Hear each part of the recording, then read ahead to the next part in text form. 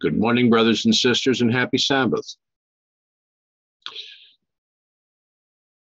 As we open the study and open the Word of God and that of His prophet, shall we ask for His blessing and for His guidance and seek to understand more clearly that which is being presented before us for the times in which we are currently living?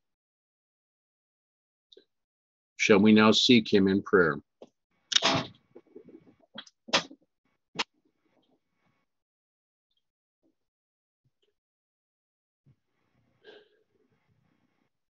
Gracious Father in heaven,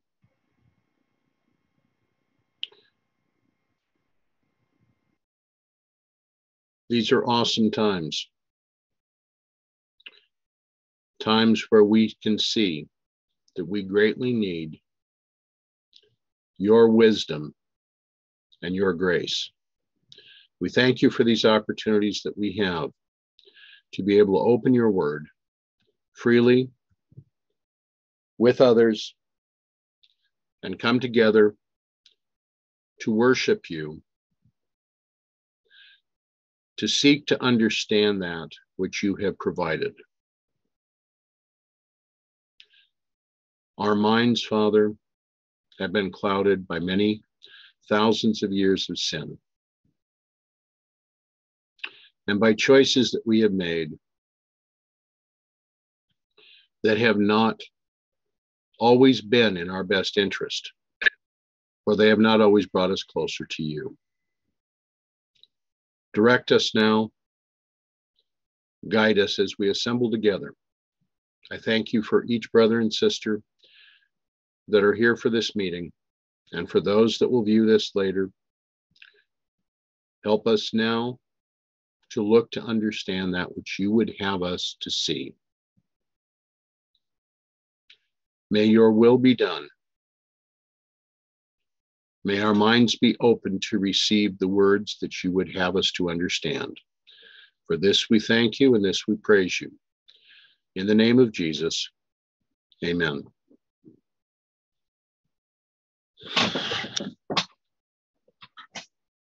We're going to have a little bit of a review from last week, just shortly. Now, in this situation,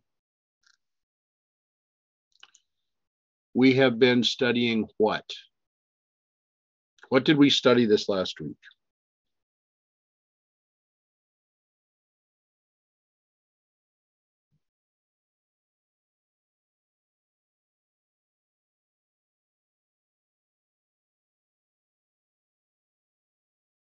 Are you talking about last Sabbath morning? Yes, I do. I am.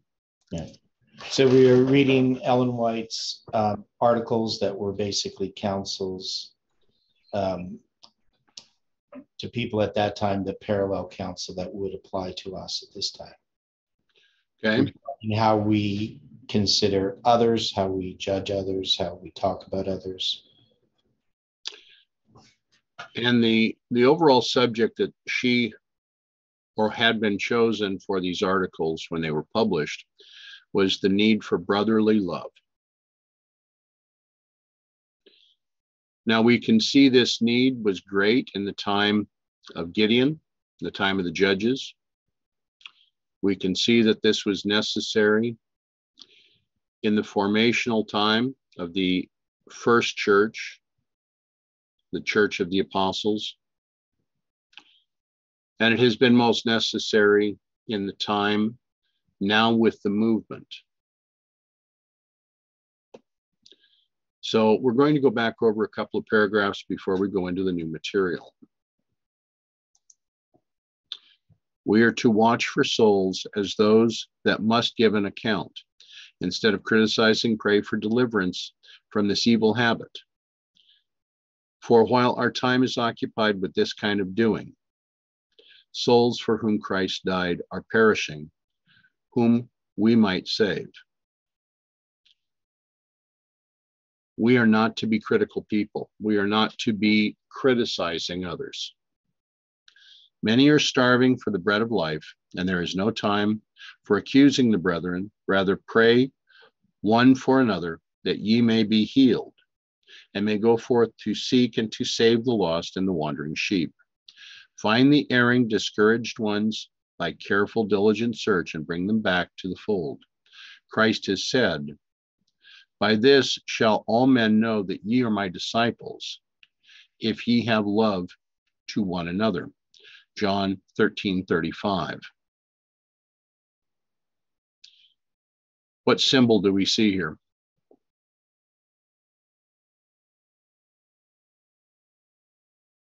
Well, we see the 1335 from What? Daniel chapter 12. The 1335 from Daniel chapter 12. And why is that important? Well, if you look at how the Millerites understood this prophecy, you know, is blessed is- is he that cometh and waiteth to the 1335. But they saw this as the kingdom of God was at hand. Right? And so that's how they equated it, that uh, that's what it was referring to. Um, so it should become a time when we have love for one another if we're in God's kingdom.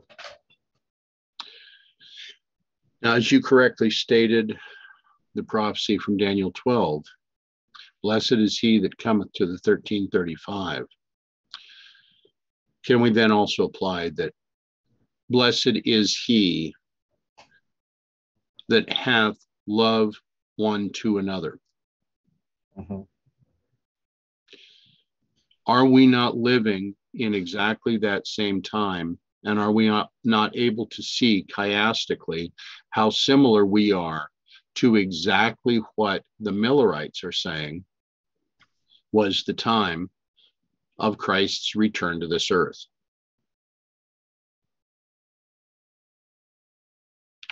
If we have no love one for another, if we are choosing to criticize and to cast out brothers and sisters, then we are not worthy of the blessing of those that come unto the 1335.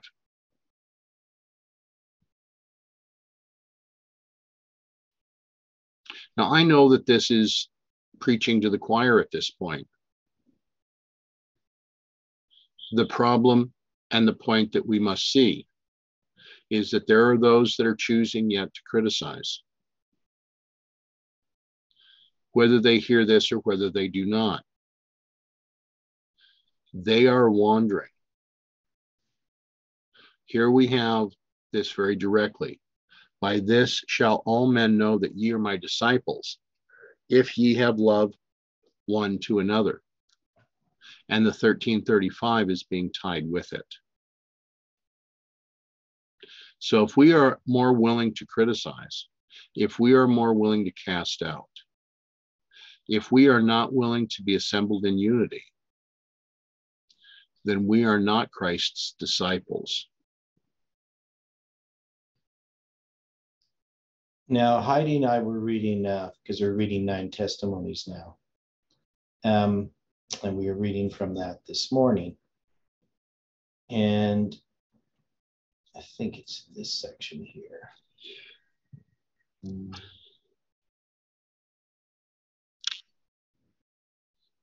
Earlier.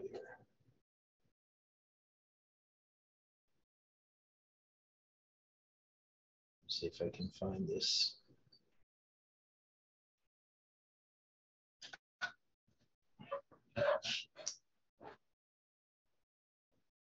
Um, yeah, this is not the best way to do this. I need to go here. Ah, there we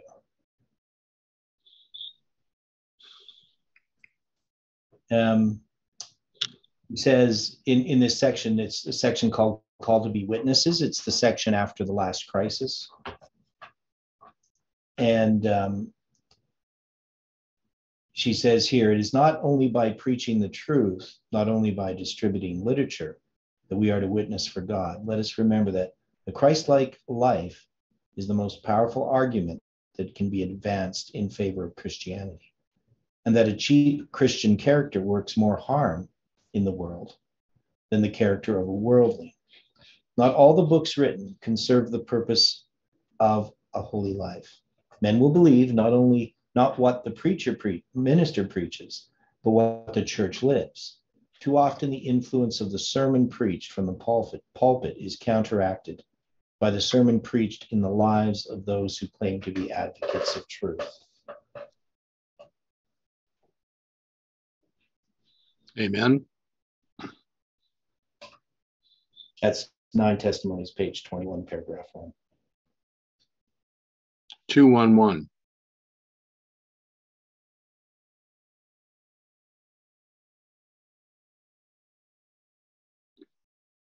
Interesting. Does that not go along with exactly what she says next? Strive to have a real connection with Christ and become laborers together with God. Ye are God's husbandry, ye are God's building. 1 Corinthians 3 9. Work with self hidden in Jesus. And the Lord will add to the church such as shall be saved. The great master shepherd will give wisdom to the under shepherds, that they may become living working agents for his use. Let them not seek to exalt themselves, but to lift up Jesus. Then they may go in and out and find pasture. They will then be partakers of the riches of the grace of Christ, which passeth knowledge.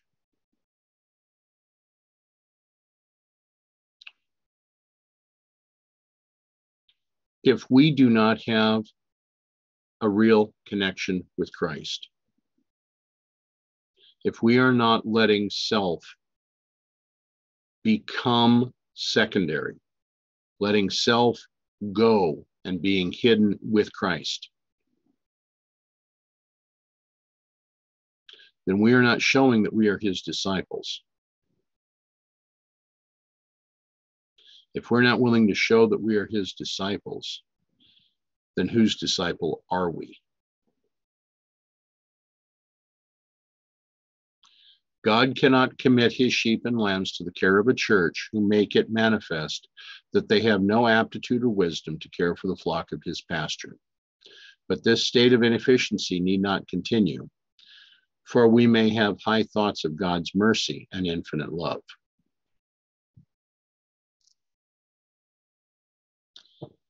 Sinful and worthless creatures though we are, through a vital connection with Christ, we are we yet may be renewed in knowledge and true holiness, and thus reflect the glory and the image of our Creator and Redeemer, and be qualified to care for his sheep and lambs.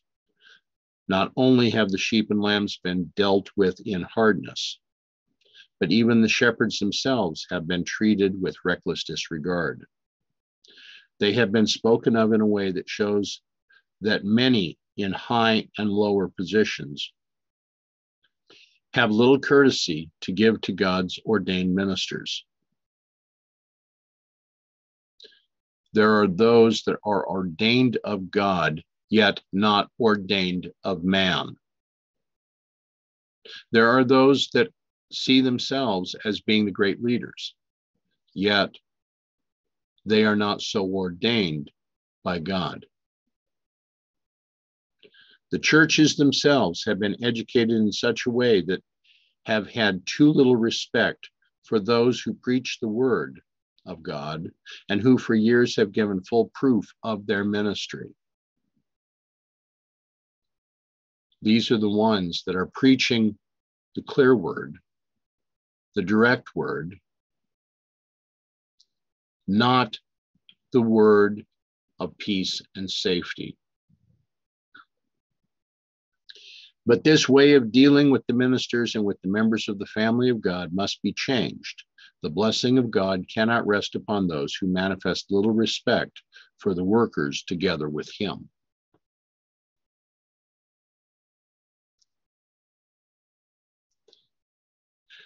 This is a very specific comment. It is a comment that we need to let rest in its full import upon our minds.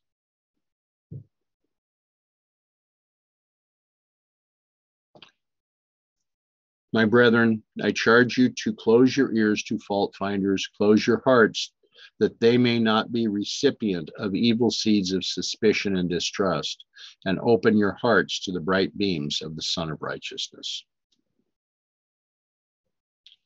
Whose words are we to ignore? Whose words are to be set aside? Fault finders. Exactly.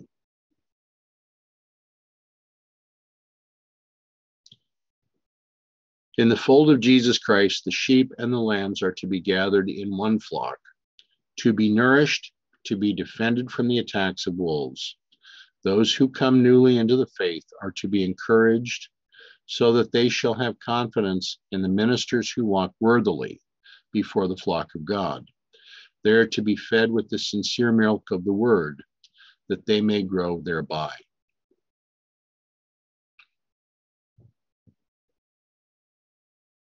We are waiting for the son, the coming of the Son of Man in the clouds of heaven, with power and with great glory.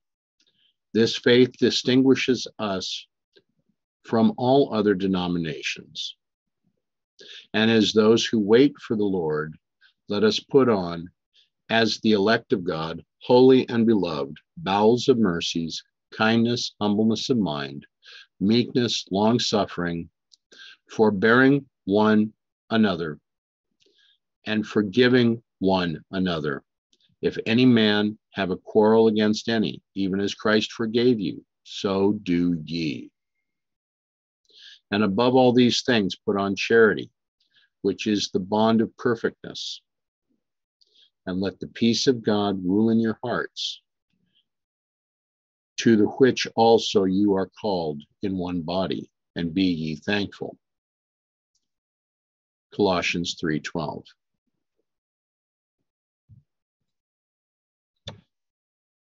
Mrs. White finished her article um, on brotherly love needed the following week on October 31st, 1893. Of those who had been led into error and who had become cold through backsliding and apostasy, Paul wrote, I am jealous over you with a godly jealousy, for I have espoused to you one husband, that I may present you as a chaste virgin to Christ. But I fear lest by any means, as the serpent beguiled Eve through his subtlety, so your minds should be corrupted from the simplicity that is in Christ. 2 Corinthians 11, 2 and 3.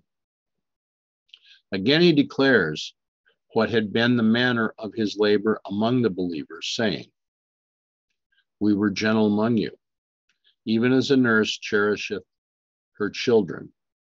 So, being affectionately desirous of you, we were willing to have imparted unto you not the gospel of God only, but also our own souls, because ye were dear unto us. As ye know how we exhorted and comforted and charged every one of you, as a father doeth his children, that ye would walk worthy of God, who hath called you into his kingdom and glory. 1 Thessalonians 2 7 and 8, also 1 Thessalonians 2 11 and 12.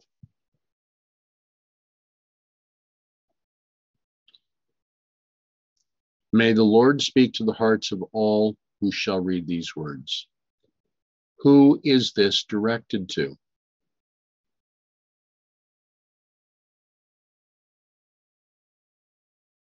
All that would read those words.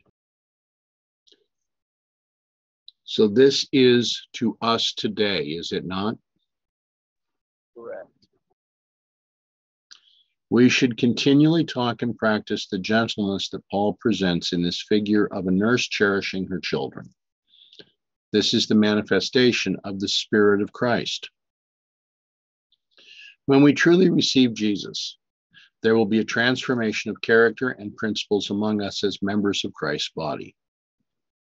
All bitterness and wrath and malice and evil speaking will be put away from us and the love of Christ will fill and overflow the heart.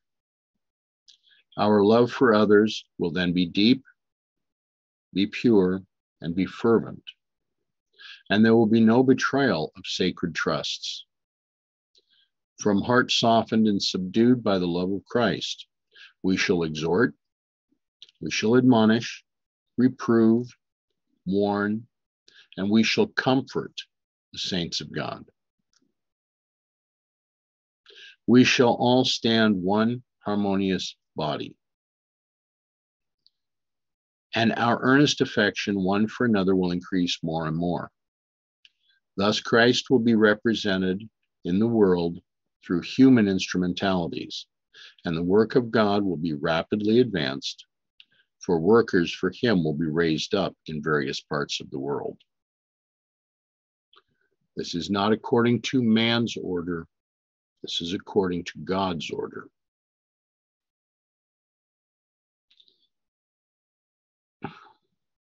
Our lack of appreciation for the instrumentalities which the Lord has already raised up to carry forward his work has retarded the progress of truth.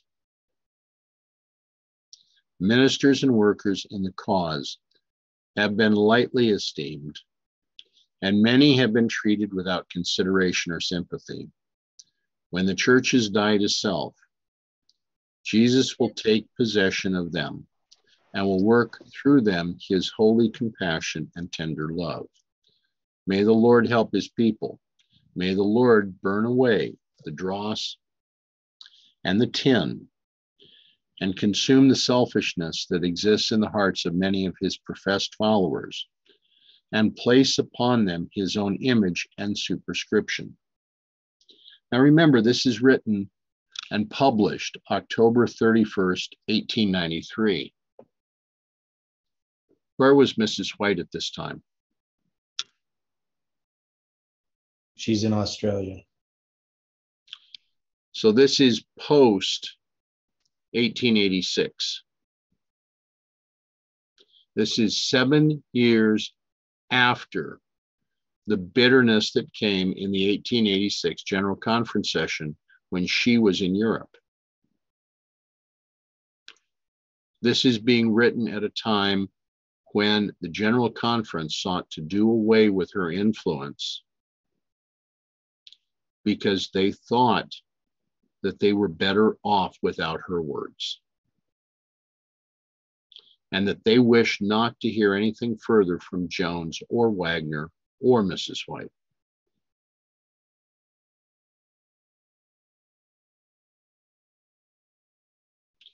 She is attempting to be very kind. She is presenting for them the things that they need to know, but they are things that were being rejected regardless.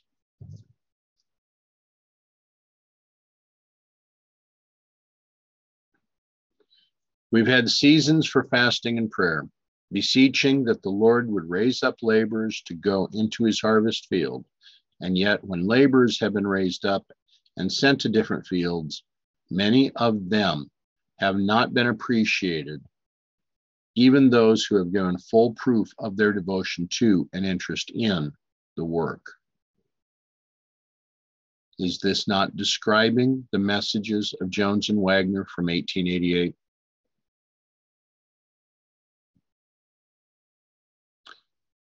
Envious tongues have spoken against them, evil surmisings have been cherished, and tares have been sown by those who would not like to reap the bitter harvest that will result.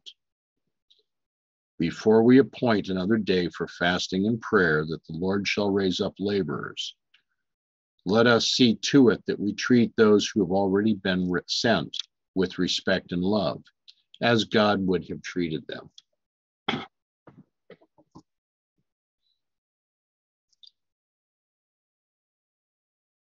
Today, brothers and sisters, we have many that would seek to address very basic tenets of what they see as being the Advent message. And that's wonderful. But it is not wonderful when they are then ignoring those that choose to bring the very meat of the word.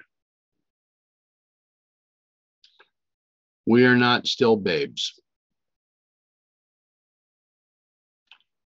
We are to be as little children growing up and eating and partaking of the meat of the word. If we are not willing to strain our every faculty, our every facility to understand many of the things that are being presented, how can we ever think that we would then be among the 144,000?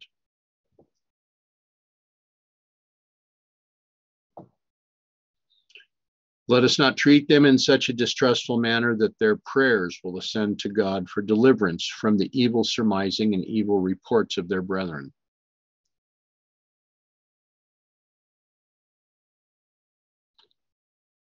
As long as those who are doing a good work for the master are not appreciated, but accused, condemned, and oppressed by the false tongue, how can we consistently ask God to raise up more laborers?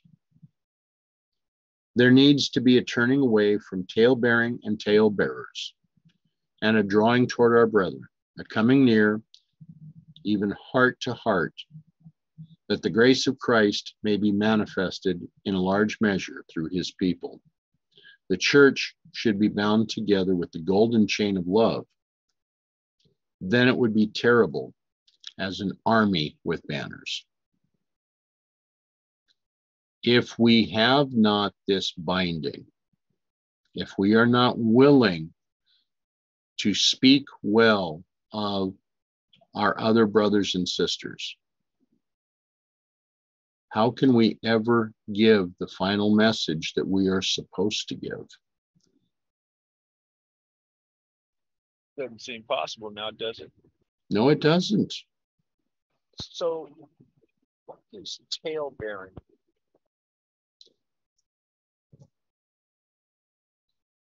Speaking against someone when they don't understand what's going on or making conjectures about what somebody else is saying.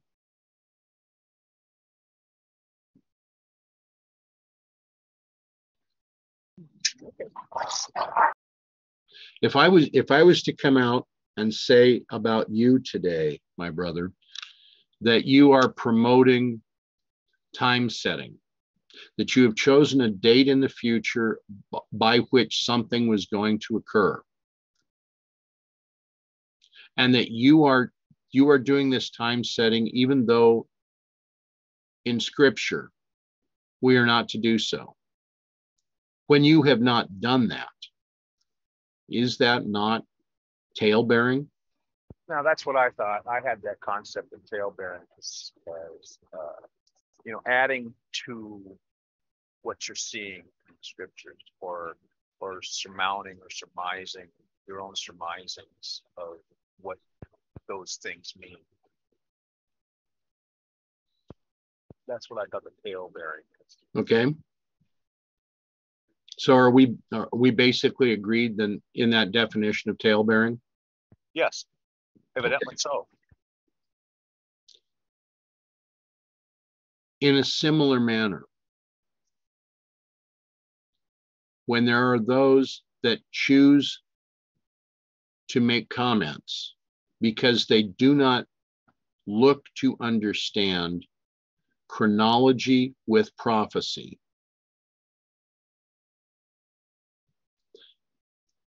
And yet they wish to cast out those that are able to explain it.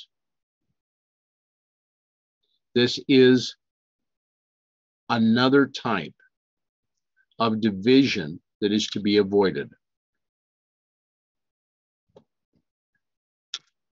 How do we do that?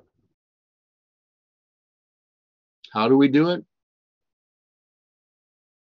Did I hear that? Yeah.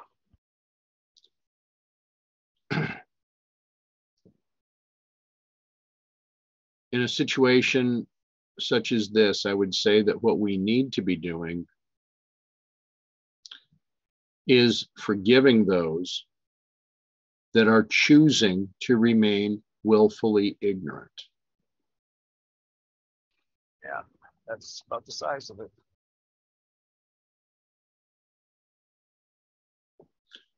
When our hearts are all open to receive the teaching of Jesus, there will be love for the brethren, and men will see the rich blessing of God is upon his people. What does this statement mean to you?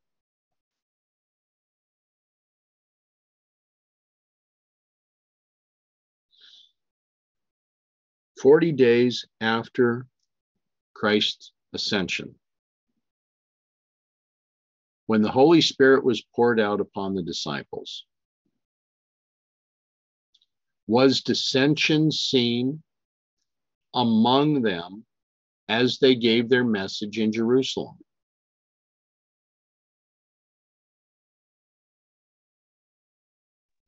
Well, they'd been in the upper room for 10 days.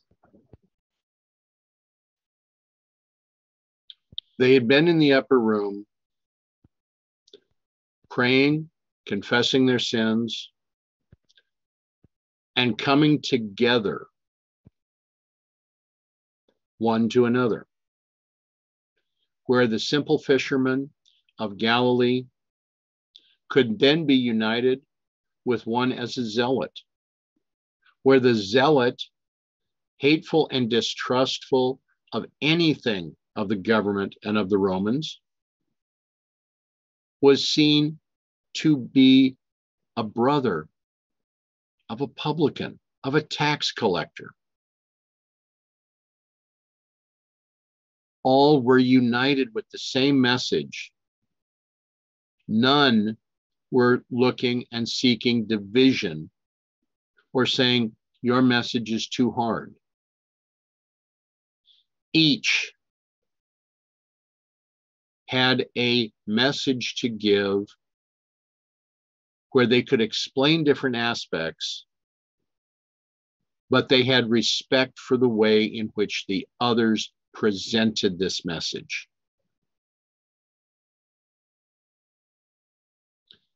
Here is where we have fallen down.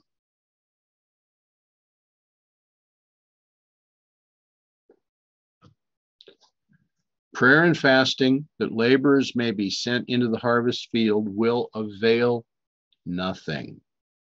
While the spirit of evil surmising and criticism exists in the hearts of those to whom laborers are to be sent. We are to be doers of the word of Christ. Then our fasts and prayers will be effectual in bringing upon the church the Holy Spirit. Let there be decided work done to answer the prayer of Christ, that his disciples should be one as he is one with the Father.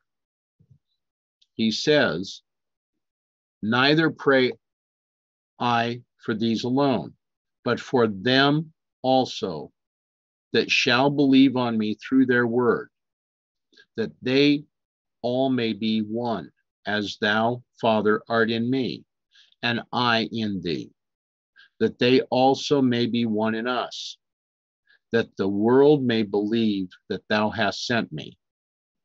And the glory which thou gavest me, I have given them, that they may be one, even as we are one, I in them and thou in me, that they may be made perfect in one, and that the world may know that thou hast sent me and hast loved them as thou hast loved me. John 17, 20 to 23.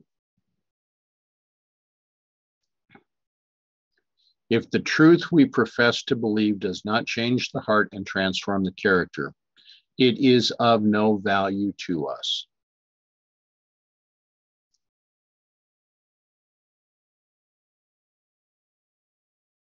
How do you take that statement? How should we accept that?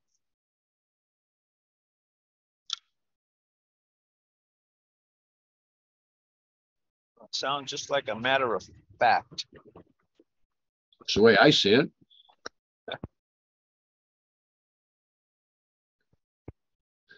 If the same defects of character remain in us after we have a knowledge of the truth, if pride, self esteem, self sufficiency, evil thinking, evil surmising, evil speaking still continue, if we judge those with whom we come in contact, we are not becoming sanctified through the truth and will have no part with Christ in his kingdom.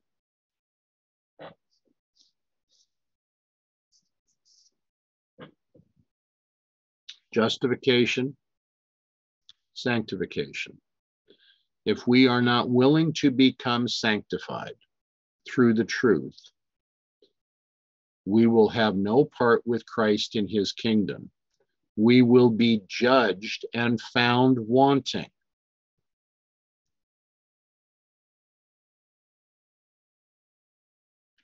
The Lord will deal with us as we deal with others. Have we dealt unkindly, unjustly with the brethren, with the world? Then it is for us to make confession, to repent, and to be converted, that our sins may be blotted out when the times of refreshing shall come from the presence of the Lord. What are those times of refreshing that are yet to come from the Lord?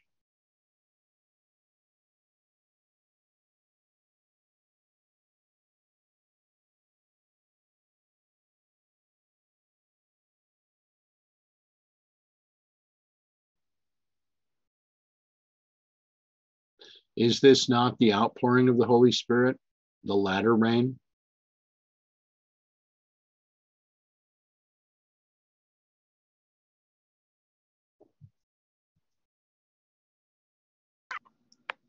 Hello.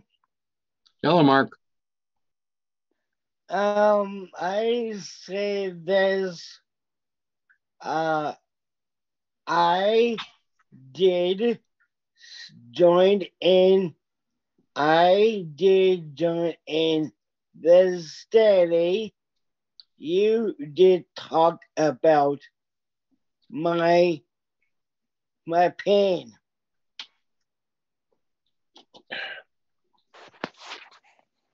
I don't quite you, understand. Um, right? Uh, why do you uh, understand this? I did join in this study today morning. You did talk about the he did point it on me, make me have a stress, can't keep my job can't uh, I I be so close losing my mind, losing my own job. I am this close. Let me go. Oh, fire me. My my head is in the crowds, my I see a white, white, white crowd uh, sneak in. Um, I heard you saying stuff of this study. I can't take this in that it is real did happen in that past. My head and my thought is in that past. That past is screaming inside of me. That pain I go through. You did talk about it now. Okay. I I did say this. That did happen in past in this earth. It is real. did happen. It is real, how it is so me that make me to be believe that and trust in that make me be serve him tell the whole wide world of good news he he done. I don't know about my own my I don't know what my my purpose he did this to me. I don't know about I just said to my mom, I, I am thinking that this way. He is coming back second time of his king or not a king. His his kingdom is real or not. I wish I wish I'd be there to see it. I take it in. I can't go try it this pain made me crying, weeping like a baby, sat, sat on the sidewalk of four years ago. Is that pain is so so too steep I, I can't have a good choice. I, I need the kind of uh, Bill Graham did play on my mom dad. They got prayers for this past the Soviet it is real or put me in for me like a dream and me it is real did happen. Till I be born, this past is done till I am ready to be born. They just so you. I let you, I let you back to talk now. Okay. As it was being stated, that it is for us to make confession, to repent, and to be converted, that our sins may be blotted out when the times of refreshing shall come from the presence of the Lord. The cause of God is to hold the first place in our plans and our affections. Nothing else is to be greater than the cause of God. There is need of bearing a straight message concerning the indulgence of self, while the cause of God is in need of means. Some are so cold and backslidden that they do not realize that they are setting their affections on earthly treasure, which is soon to be swept away forever. The love of the world is binding them about like a thick garment. And unless they change their course, they will not know how precious it is to practice the self denial for Christ's sake. All our idols, our love of the world, must be expelled from the heart. There are ministers and faithful friends who see the danger that surrounds these self bound souls who faithfully present to them the error of their course, but instead of taking admonitions in the spirit in which they are given and profiting thereby, those reproved rise up against the ones who deal with them faithfully. Oh, that they might arouse from their spiritual lethargy and now acquaint themselves with God. The world is blinding their eyes from seeing Him who is invisible. They are unable to discern the most precious things that are of eternal interest, but view the truth of God in so dim a light that it seems of little value to them. The merest atom concerning their temporal interests assumes magnified proportions, while the things concerning eternity have dropped out of their reckoning. Our Lord insists upon the necessity of removing earthly idols. He would have us set free from delusions and snares and not mistake phantoms for realities.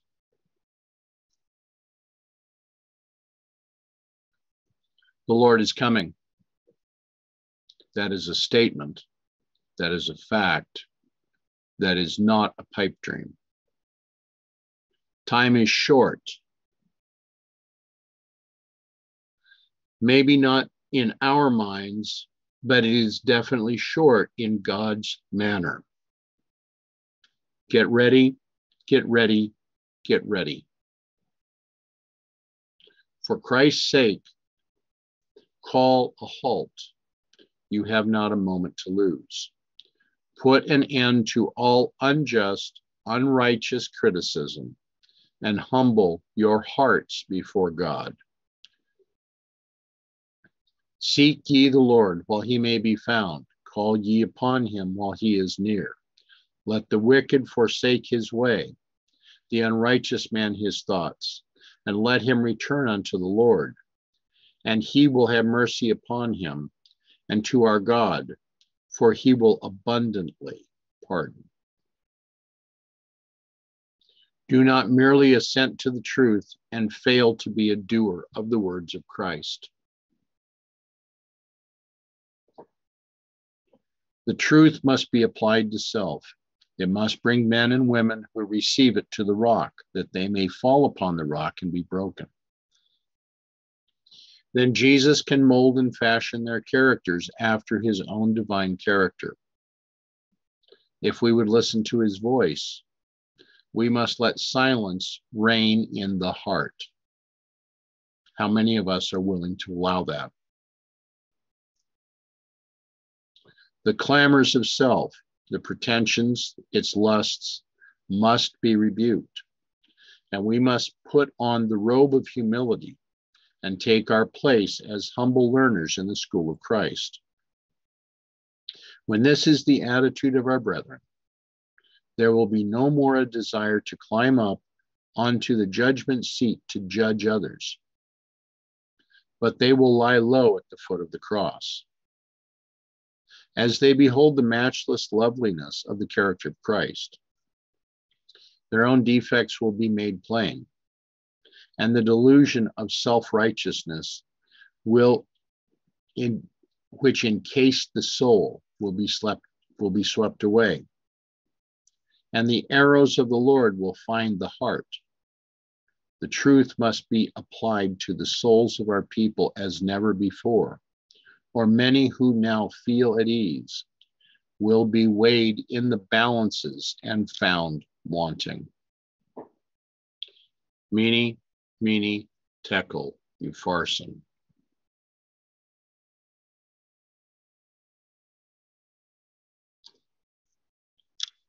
As we have been observing, we have seen many that have been within this movement that are now choosing that the message that the movement is to give is false. They wish to set aside anything to deal with chronology, especially chronology combined with prophecy.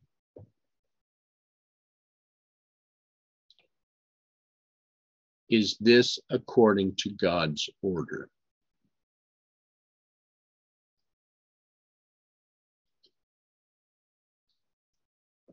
Now, on the 16th of December of 1890, Mrs. White wrote, The Duty of Confession. Confess your faults one to another and pray one for another, that ye may be healed. The effectual, fervent prayer of a righteous man availeth much. James 5 16. what is the blessing that comes from confession and prayer one for another?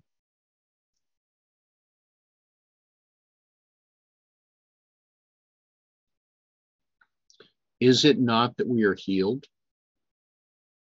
Is it not that we are made whole? Is it not that we can then stand as men and women according to the very promise of Christ Himself? If these words of inspiration were obeyed, they would lead to such results as are set forth by the Apostle Peter seeing you have purified your souls in obeying the truth through the Spirit unto unfeigned love of the brethren, that ye love one another with a pure heart fervently. 1 Peter 1 22. All are fallible, all make mistakes and fall into sin. But if the wrongdoer is, is willing to see his errors, as they have been made plain by the conducting Spirit of God, the convicting Spirit of God, excuse me, and in the humility of heart will confess them to God and to the brethren, then he may be restored. Then the wound that sin has made will be healed. If this course were pursued, there would be in the church much more childlike simplicity and brotherly love heart beating in unison with heart. Is this not what we saw occur after the upper room experience? Is this not the presentation that was given forth on the day of Pentecost?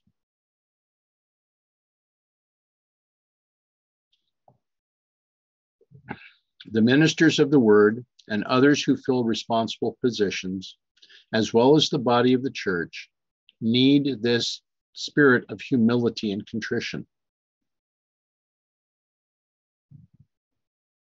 The Apostle Peter writes to those who labor in the gospel feed the flock of God which is among you, taking the oversight thereof, not by constraint, but willingly, not for filthy lucre, but of a ready mind,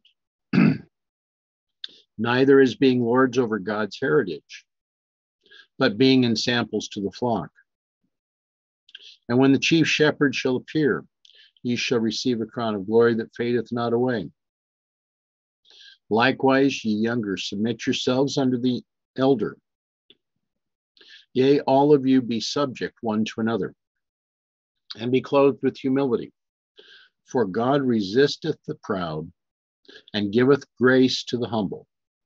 Humble yourselves, therefore, under the mighty hand of God, that he may exalt you in due time, casting all your care upon him, for he careth for you. 1 Peter 5 2 to 7.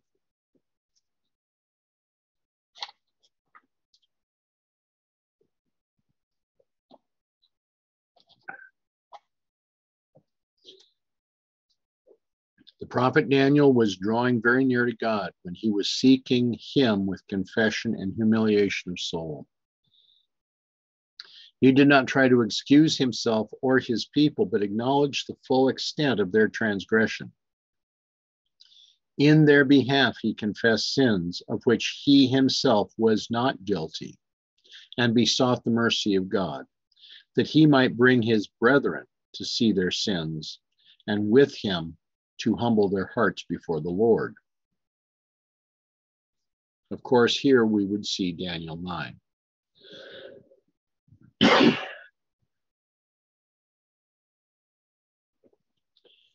but I am not now speaking of actual mistakes and errors of those who really love God and the truth sometimes commit.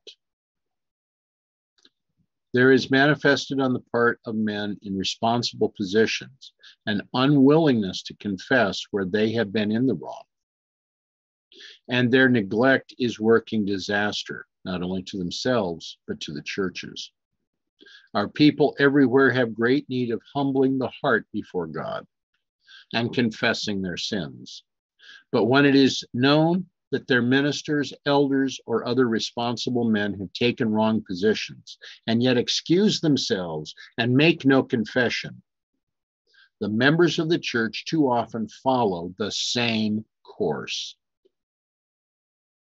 Thus, many souls are endangered, and the presence and power of God are shut away from his people.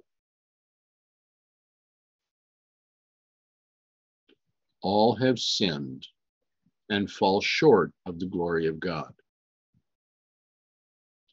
All have need to make confession.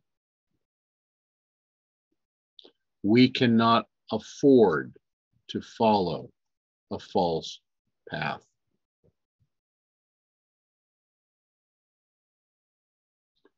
The Apostle Paul exhorts lift up the hands which hang down and the feeble knees, and make straight paths for your feet, lest that which is lame be turned out of the way, but let rather let it rather be healed. Hebrews 12, 12 and 13. What harm has been wrought through neglect to heed this admonition? Suppose that one brother misjudges another. He might have had opportunity to learn whether his suspicions were well founded. But instead of waiting to do this, he repeats to others his surmisings. Thus, evil thoughts are stirred in them, and the evil becomes widespread. And all the time, the one pronounced guilty is not told of the matter. There is no investigation, no inquiry is made directly of him so that he may have an opportunity either to acknowledge his fault or declare himself of unjust suspicion. A serious wrong has been done him because his brethren had not the moral courage to go directly to him and talk with him freely in the spirit of Christian love. I don't want to hear that. I don't want to hear you speak about this. I think you should go somewhere else. How often has this occurred? It's occurred in my life. It's occurred most directly. I've seen it, I've experienced it. I have recognized it. It's time to call it for what it is. From all who have thus neglected their duty, confession is due, and none will shrink from it who deem it of any importance for them to seek to answer the prayer of Christ.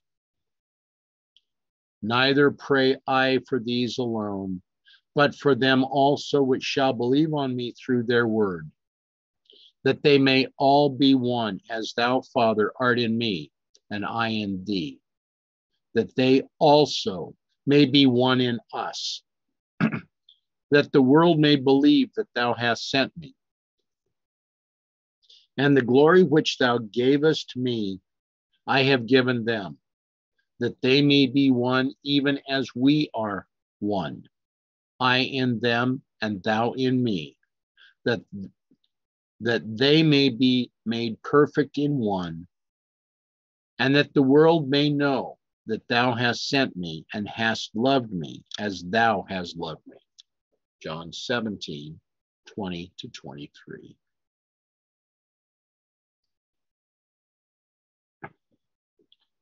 How can this prayer be answered by one who has wronged his brother and whose heart is not softened by the grace of Christ so that he will make confession? How can his brethren who know the facts still have unshaken confidence in him, while he seems to feel no conviction of the Spirit of God.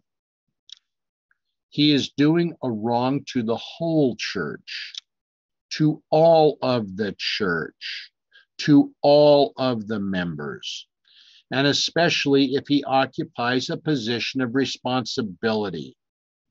For he is encouraging others to disregard the word of God, to pass along with sins unconfessed. Many a one will say in heart, if not in words, There is an elder of the church. He does not make confession of his errors, and yet he remains an honored member of the church. If he does not confess, neither will I. If he feels that he is perfectly safe for him not to show any contrition, I too will risk it.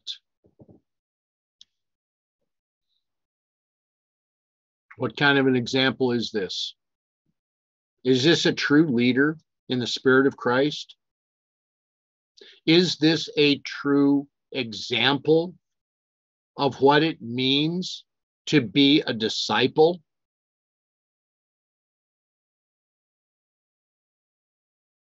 What are we to do, brothers and sisters? How are we to walk?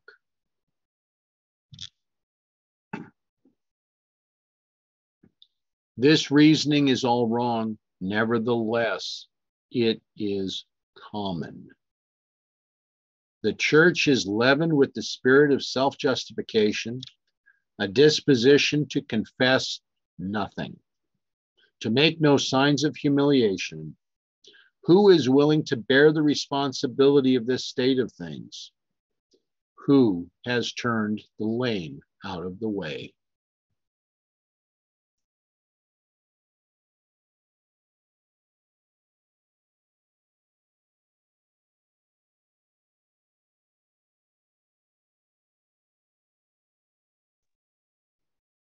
What does this mean for you? What is this saying to you today? How can we greatly accept these words of admonition in our own lives and in our own actions today?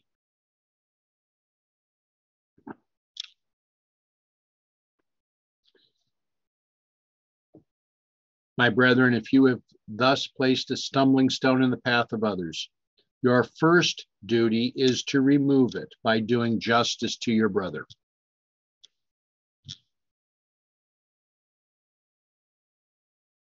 If we are not willing to show justice, mercy to those that we call brother, are we disciples of Christ? Are we then walking according in the character and path that he would have us to walk?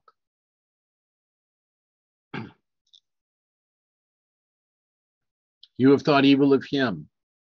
You have said things untrue because you have gathered up heresy.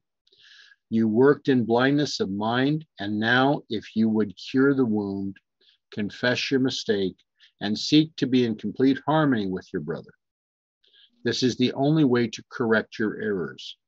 Confess to your brother and bind him close to your heart so that you can labor together in love and in unity.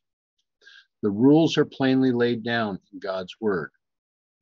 Whether you have been a minister, the president of a conference, the superintendent of a Sabbath school, or a teacher in the Sabbath school, or have held important positions in any branch of the work, there is but one right course for you to pursue.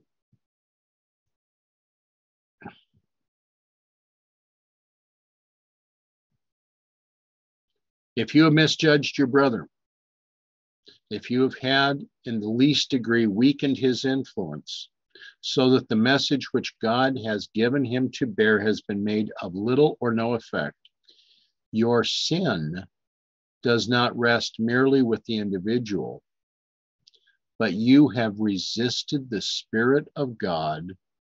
Your attitude, your words have been against your Savior.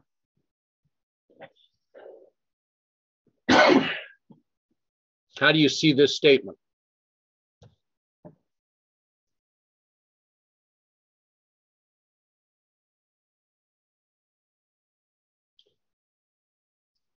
Well, if you disagree with somebody, you go straight to them, not to everybody else. Whether it's a pastor or layperson alike. But if something is being said that is untrue against one of our brothers, are we not also treating Christ in exactly the same manner? Yes.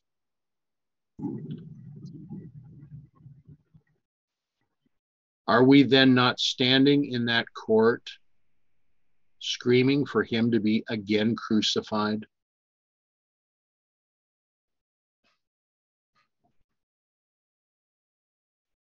Are we any better than that group? No. That's a hard thing to consider, isn't it? Yeah, it is.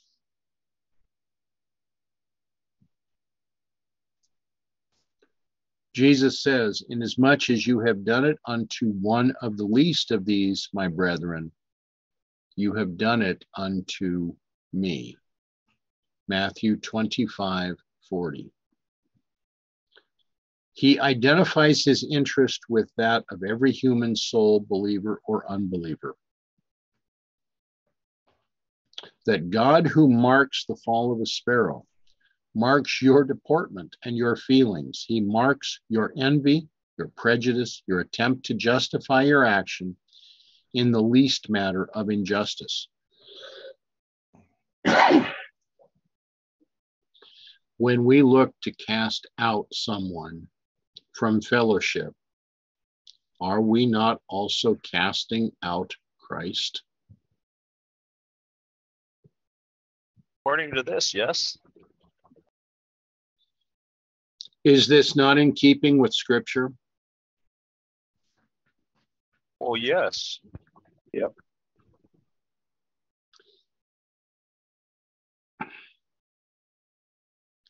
When you misconceive the words and acts of another, and your own feelings are stirred so that you make incorrect statements, and it is known that you are at variance with your brother, you lead others through your their confidence in you to regard him just as you do. And the root of bitterness springing up, many are defiled.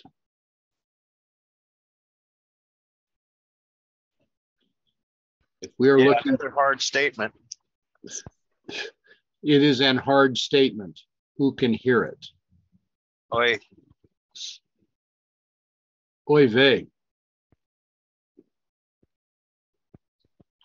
When it is evident that your feelings are incorrect, do you try just as diligently to remove the erroneous impressions as you did to make them? In these matters, the Spirit of Christ has been grieved. The Savior accounts these things as done to himself.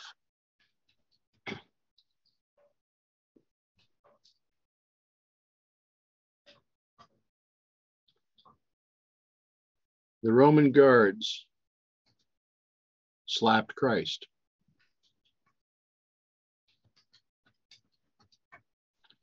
And cried, Prophesy now. Who did it?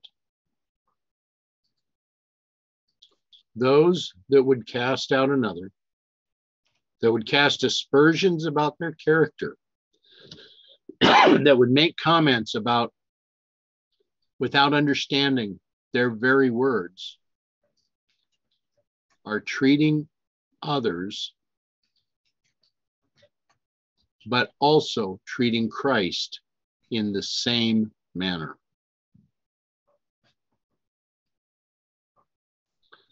For me, that is fearsome.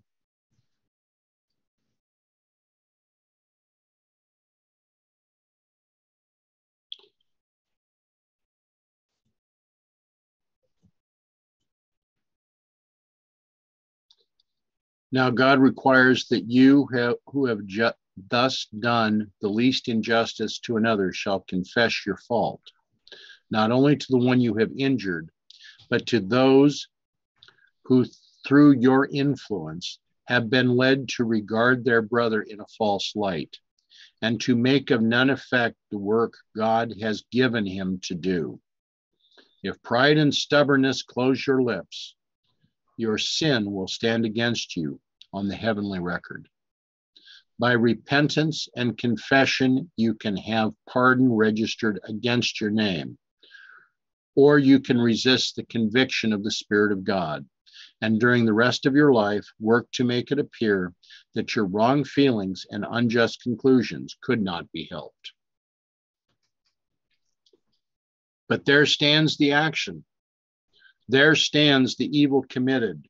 There stands the ruin of those in whose hearts you planted the root of bitterness. There are the feelings and the words of envy, of evil surmising that grew into jealousy and prejudice. All these testify against you. The Lord declares, I have somewhat against thee, because thou hast le- left thy first love. Remember, therefore, from whence thou have fallen, and repent and do the first works, or else I will come unto thee quickly and will remove thy candlestick out of its place, except thou repent. Revelation 2 4 and 5. The question is not whether you see as your brother does on controverted points, but what spirit has characterized your actions. Have you an experience in close self examination, in humbling the heart before God? Have you made it a practice of your life to confess your errors to God and to your brethren? All are liable to err, Therefore, the Word of God tells us plainly how to correct and heal these mistakes. None can say that he never makes a mistake, that he never sinned at all. But it is important to consider what disposition you make of these wrongs. The Apostle Paul made grievous mistakes, all the time thinking that he was doing God's service. But when the Spirit of the Lord set the matter before him in its true light, he confessed his wrongdoing and afterward acknowledged the great mercy of God in forgiving his transgression. You also may have done wrong, thinking you were perfectly right. But when time reveals your error, then it is your duty to humble the heart and confess your sin. Fall on the rock and be broken. Then Jesus can give you a new heart, a new spirit. the words of David are the prayer of the repentant soul. Have mercy upon me, O God, according to thy loving kindness, according unto the multitude of thy tender mercies, blot out my transgressions. Wash me thoroughly from mine iniquity and cleanse me from my sin. For I acknowledge my transgressions, and my sin is ever before me. Hide thy face from my sins and blot out all mine iniquities. Create in me a clean heart, O God, and renew a right spirit within me. Cast me not away from thy presence and take not thy Holy Spirit from me. Restore unto me the joy of thy salvation, and uphold me with thy free spirit. Then I will teach transgressors thy ways, and sinners shall be converted unto thee. Deliver me from blood guiltiness, O God, thou God of my salvation. And my tongue shall sing aloud of thy righteousness. O Lord, open thou my lips, and my mouth shall show forth thy praise. For thou desirest not sacrifice, else would I give it. Thou delightest not in burnt offering. The sacrifices of God are a broken spirit, a broken and contrite heart, O God, thou wilt not despise. Of course, here we would see Psalm 51.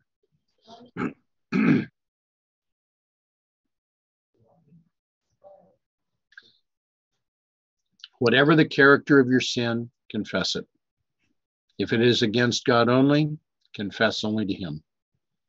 If you have wronged or offended others, confess also to them, and the blessing of the Lord will rest upon you. In this way, you die to self, and Christ is formed within. Thus, you may establish yourself in the confidence of your brethren, and may be a help and a blessing to them. Can the Holy Spirit reside within a temple wherein there is even one idol? I would have to say no.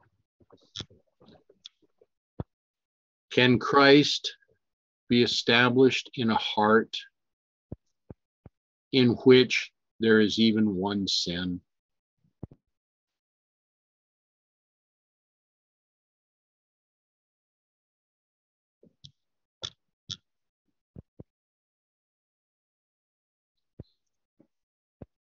When under the temptations of Satan, men fall into error, and their words and deportment are not Christ like, they may not realize their condition because sin is deceptive and tends to deaden the moral perceptions. But through self examination, searching of the scriptures, and humble prayer, they will, by the aid of the Holy Spirit, be enabled to see their mistake. If they then confess their sins, and turn from them, the tempter will not appear to them as an angel of light, but as a deceiver, an accuser of those whom God desires to use to his glory. Those who acknowledge reproof and correction as from God are thus enabled to see and correct their errors, are learning precious lessons, even from their mistakes. Their apparent defeat is turned to victory. They stand trusting, not in their own strength, but to the strength of God. Some of the greatest lessons I've had to learn, I've had to learn from my own mistakes. is this not so in the walk with Christ? Is this not so in the walk that is currently before us? Do we not correct and have the ability to correct that which we have done wrong by seeing our errors as they are? They have earnestness, they have zeal and affection, united with humility and regulated by the precepts of God's word. Thus they bring forth the peaceable fruits of righteousness. The Lord can teach them his will, and they shall know the doctrine, whether it be of God. They walk not stumblingly, but safely in a path where the light of heaven shines. There must be with all our labors a spirit of meekness, of penitence. God requires that those who minister in word and doctrine shall serve him with all the powers of body and mind. Our consecration to God must be unreserved, our love ardent, our faith unwavering. Then the expressions of the lips will testify to the quickened intelligence of the mind and the deep movings of the Spirit of God upon the soul.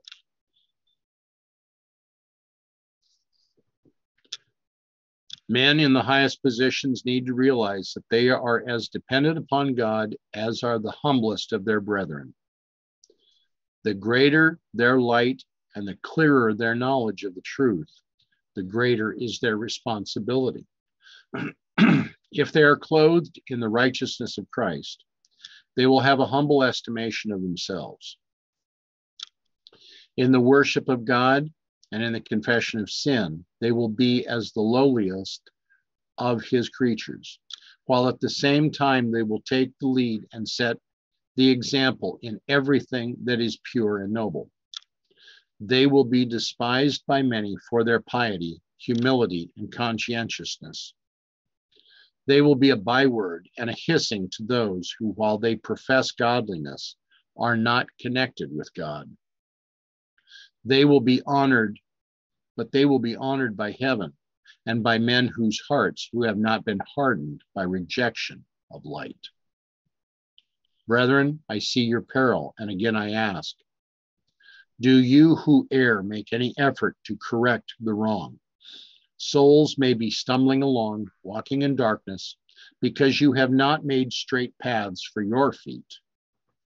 If you are in positions of trust, I appeal the more earnestly to you for your own soul's sake and for the sake of those who look to you as guides. Repent before God for every mistake made and confess your error. If you indulge stubbornness of heart and through pride and self righteousness do not confess your faults, you will be left subject to Satan's temptations. If, when the Lord reveals your errors, you do not repent or make confession, his providence will bring you over the ground again and again. You will be left to make mistakes of a similar character you will continue to lack wisdom and will call sin as righteousness and righteousness as sin.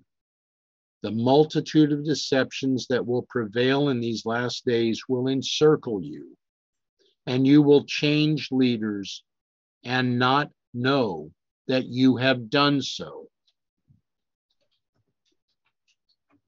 What does this say to you today? Kind of reminds me of uh, Christ entering the most holy place and those that didn't notice it and had Satan step in front of them and didn't recognize it. Is this the position we want to find ourselves today? No.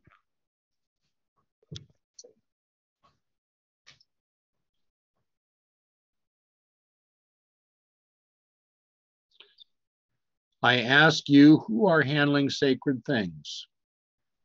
I ask the individual members of the church, have you confessed your sins? If not, begin now, for your souls are in great peril. If you die with your mistakes concealed, unconfessed, you die in your sins. The mansions that Jesus has gone to prepare for all who love him will be peopled by those who are free from sin. But sins that are not confessed will never be forgiven. The name of him who thus rejects the grace of God will be blotted out of the Lamb's book of life. The time is at hand when every secret thing shall be brought into judgment. And then there will be many confessions made that will astonish the world.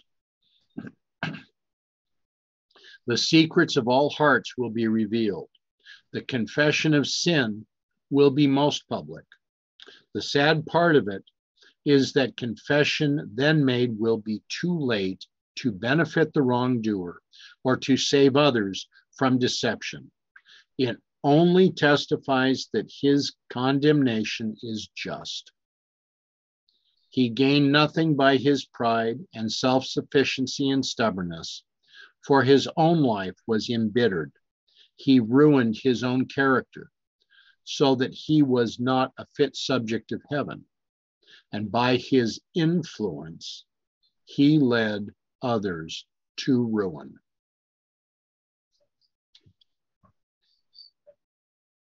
Brothers and sisters, I pray that this is not said of any of us.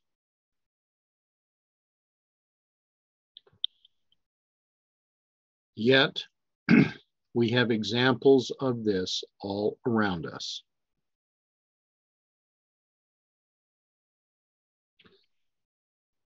If we are truly seeking for the outpouring of the Holy Spirit, we need to seek this first through prayer and confession of sins. If we are not willing to do this, then we will not be benefited by the latter rain.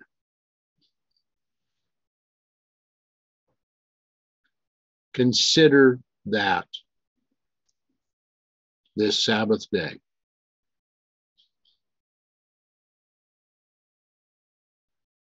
If you have a disagreement with the words that are spoken, so be it. Have your disagreement with the prophet. Have your disagreement with the word of God. Choose you this day whom ye will serve is the open invitation that is given to all.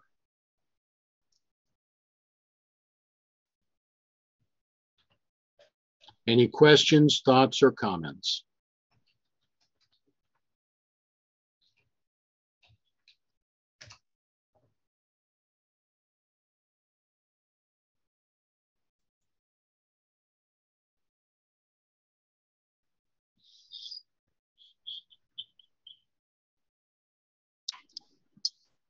Shall we then close with prayer?